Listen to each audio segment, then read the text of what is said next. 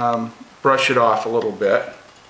And I use this, this is an old Static Master, but you can use a makeup brush or anything that's, that's clean you can use. There's three ways to hold the plate. This is called the waiter tray. This is called the cantilever. And this is, some call it the crab or the pinch claw method. These small plates I like to hold it like this. Um, you need two bottles when you're pouring, flowing the plate. You need the collodion and you need a drain bottle. This is probably one of the most important steps in the process um, because you want a good even emulsion. So hold, hold the bottle down low and pour a really, really fair amount of collodion onto the plate.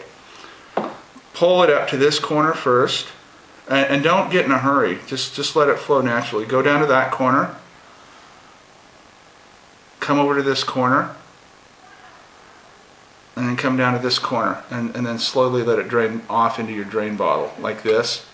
And as you do that, you, you'll crawl your fingers up the side like that and just rock it a little bit. What the rocking does is it allows uh, the collodion, it, it prevents rather, prevents the collodion from building up ridges as it, as it kind of sets up and dries. So, And you're going to reconstitute that later. You're Yes, I'm, and you do that with ether and alcohol. And the re reason you pour it in a drain bottle is because the, the solvents are draining off of this big time right now. And when you can pinch the corner of that, your collodion is set up and it's ready to go.